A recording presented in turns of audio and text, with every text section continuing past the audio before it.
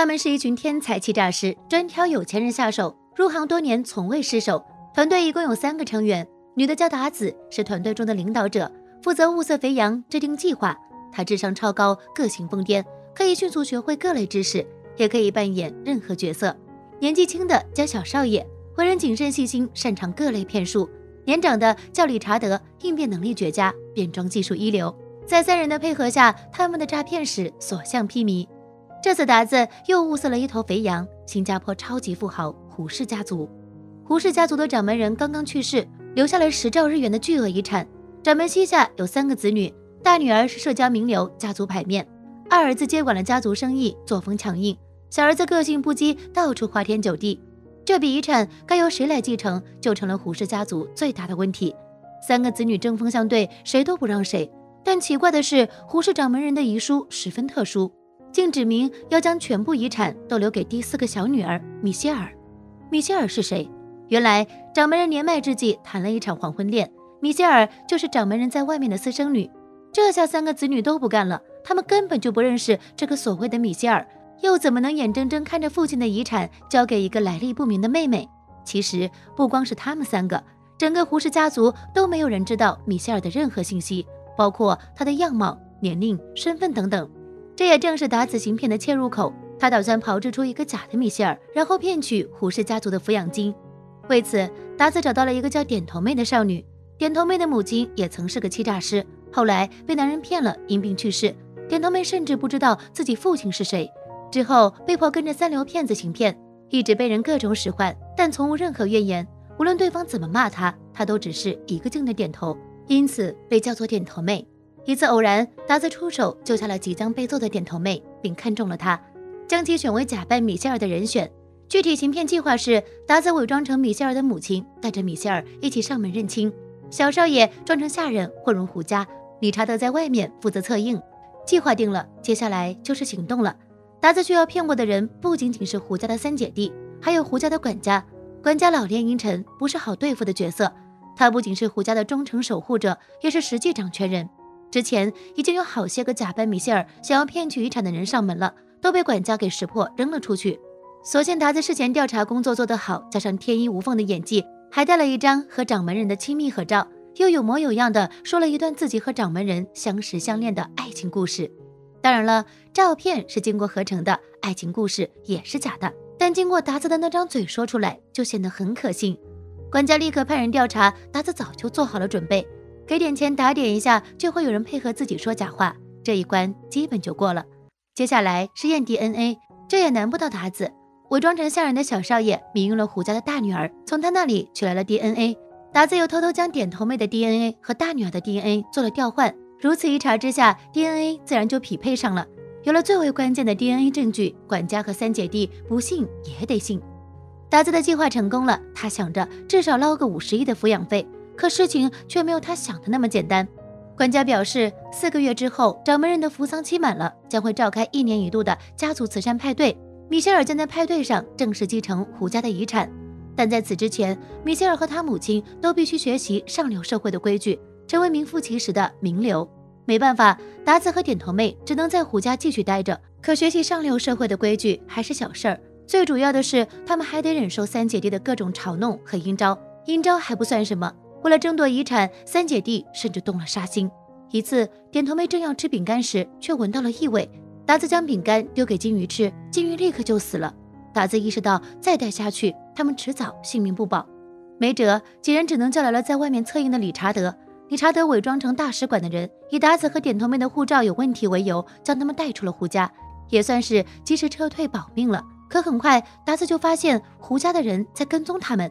为了活命。达子只能带着点头妹装作胃疼逃到医院，打算趁机溜走。可最后还是被胡家的人逮个正着。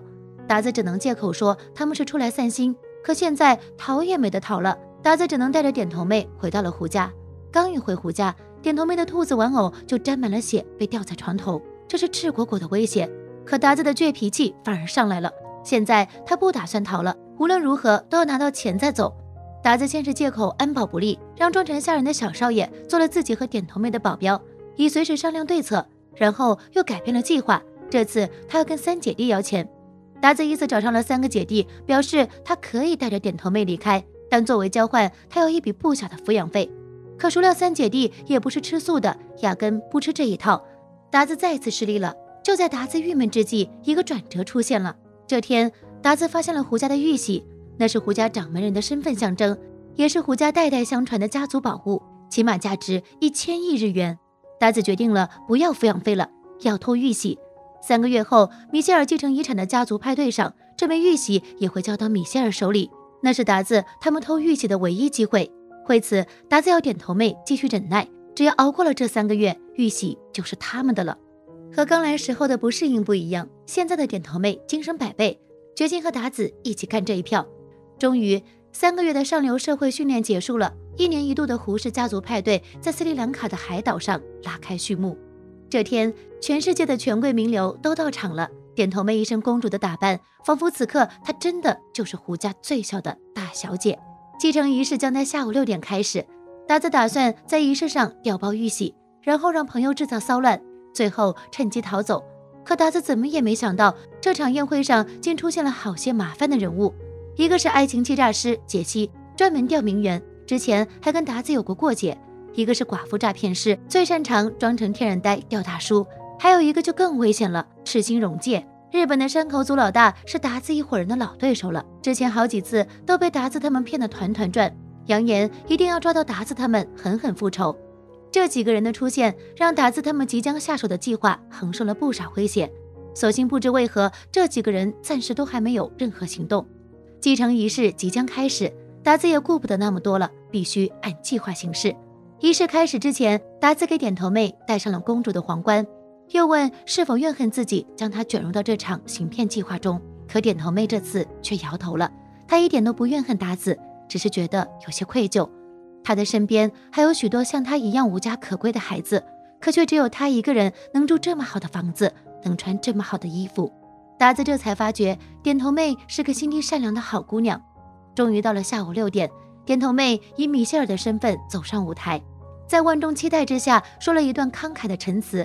经过四个月的精英式教育，此刻的点头妹褪去了青涩和稚嫩，她充满自信，言辞果决，就仿佛她真的是胡家即将继任的掌门人。演讲结束后，下人端来了胡家的玉玺。按照计划，点头妹装作不小心将玉玺掉在了地上，达子这个做母亲的趁机上前调换了玉玺，玉玺顺利得手了。本以为事情就该落幕了，岂料真正的麻烦还在后面。一个身上绑满炸弹的男人忽然冲了进来。还挟持了胡家的三公子。原来男人之前是做玩偶生意的，可后来生意却被胡家给抢走了。男人不仅失去了赖以为生的生计，就连心爱的妻子都因此过世。这次男人就是要找胡家同归于尽的。男人叫嚣着要按下炸弹的启动键，所有人都吓坏了。可点头妹却一副无所畏惧的样子，走到了男人面前。原来她和这个男人有过一面之缘。月前达子带着她从胡家逃走时。男人不小心撞倒了点头妹，于是送了一颗芒果给她当做赔礼。在点头妹的提醒下，男人想起来了，可他万万没想到，这样一个可爱善良的女孩竟是仇家的人。男人声泪俱下的哭诉，他这么做只是为过世的妻子讨个公道。可点头妹却把脖子上的一个公主玩偶掏了出来，递给了男人。那是他俩相撞当天男人不小心落下的，也是男人过世妻子留下的遗物。看着这个残缺的公主玩偶，男人情不自禁地哭了出来。他不能让妻子的遗物也跟着他一起被炸毁。终于，在点头妹的拥抱和安慰下，男人放弃了复仇。点头妹用自己的眼泪和真诚化解了一场灾祸，而管家就在一边看着这一幕。计划之外的危机解除了，达子本以为可以带着玉玺逃之夭夭了，岂料更大的危机还在后头。管家忽然叫走了三姐妹和点头妹伪装的米歇尔，似乎是要说什么秘密的事。原来管家发现了达子和过世掌门人的那张亲密合照是合成的了。经过调查之后，还找到了过世掌门人真正的情人，也就是米歇尔真正的母亲，还从那个女人手里得到了一封过世掌门人的亲笔信。信上，掌门人确实表示要将私生女取名为米歇尔，还要把自己的遗产全都留给这个孩子。可女人却告诉管家，她的女儿米歇尔早在她肚子里的时候就死了，所以这世上根本就没有胡家的第四个小女儿米歇尔。管家震惊了，也知道达子和点头妹是冒牌货了。可不知为何，管家却没有说出真相。相反的，他将三姐弟以及点头妹叫到了一起，然后公布了这封信的全部内容。信里，去世的掌门人说出了为何要将全部遗产留给小女儿的原因。在掌门人看来，钱财乃是身外之物，他更在意的是三个儿女的人生。他的大女儿是个向往爱情也容易满足的好姑娘，可却被虚荣所困，不敢面对内心真正的感情。他的长子梦想着成为一名昆虫博士，却迫于父亲的期待而拼了命的做生意。他的小儿子明明喜欢男人，却因家族荣誉而遮遮掩掩。可这一切都不是这三个孩子的错。而是他这个做父亲的责任，是他强迫三个孩子走上了他们并不想走的路。面对父亲的道歉，三姐弟潸然落泪，内心的心结也就此打开了。心结一解开，事情就好办了。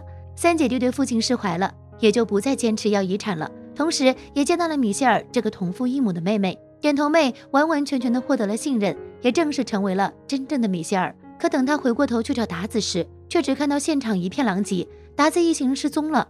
原来就在点头妹被管家叫走后，和达子就有仇怨的日本山口组老大赤心荣介找上了他们。赤心要达子交出玉玺，达子不愿意，赤心就硬抢，最后甚至叫来了两个刀客。两个刀客二话不说，狂丢飞刀，达子三人不敌，被飞刀刺中，全部殒命。就这样，点头妹以米歇尔的身份正式住进了胡家。一段时间后，达子三人竟出现了，他们并没有死，现在才是真相的揭秘时间。原来三个月前。达子发现胡家的三公子经常和赤星集团的大银亮，便开始调查他们之间的关系。一查之下，果然有收获。原来赤星本想和胡家做生意，但胡家的长女和长子都不跟日本黑帮来往，赤星这才找上了胡家的三公子。但三公子是个吃喝玩乐的败家子，不被允许插手家族生意。于是两人达成了合作。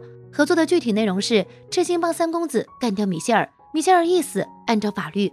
胡家的三姐弟就能平分遗产，到时候三公子就能得到一大笔钱，也就能和赤星做生意了。这对他和赤星都有好处。为了刺杀米歇尔，赤星还找了两个越南的女刀客。达子得到这个情报后，立刻就派了大弟子去打听这两个女刀客，结果发现这两人是狂热的追星族，最痴迷各类男明星。达子于是想到了一个将计就计的招数。首先，达子找上了爱情诈骗师杰西，杰西号称天下没有他搞不定的女人。达子便让他帮忙搞定这两个女刀客，然后杰西一美男计，搞定了女刀客之后，达子又找来了寡妇诈骗师，让他和女弟子穿上玩偶服，装成女刀客混入派对。最后，达子三人在身上穿上防护服，绑上假血带，就等着赤星下手。果然，赤星在夺走玉玺后要杀人灭口，可达子三人早就做好了准备，在现场不过是装死罢了。更爽的还在后面。原来在继承仪式上，达子只是佯装调换玉玺，其实并没有换。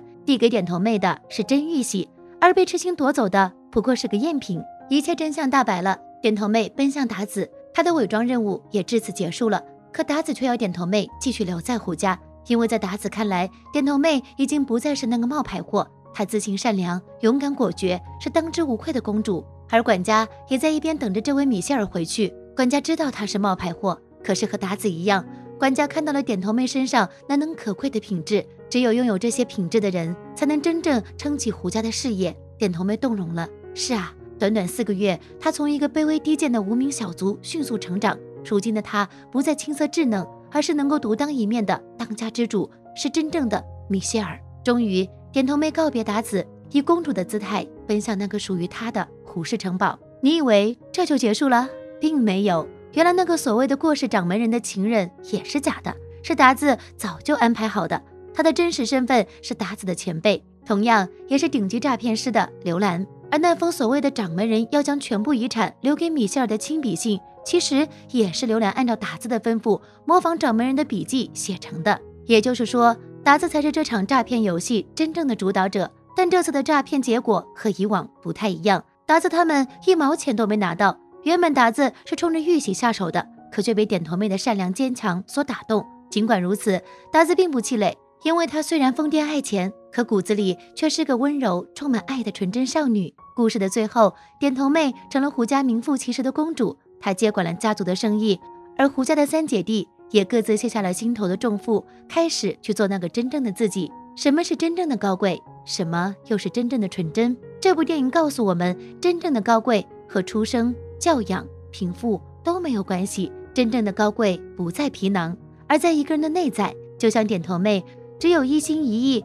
为他人的幸福着想，只有勇于超越过去的自己，变得善良、坚强、果决、勇敢，才是真正的高贵。而真正的纯真，也和一个人外在的标签无关。就像打字，虽然是诈骗师，虽然超级爱钱，可骨子里却温柔善良，能及时向需要帮助的人伸出援手，能放弃身外之物去成全别人的人生。所以，高贵和纯真与否，看的是心性，而非表象。只有拥有那些美好而又稀缺品质的人，才能创造真正的奇迹。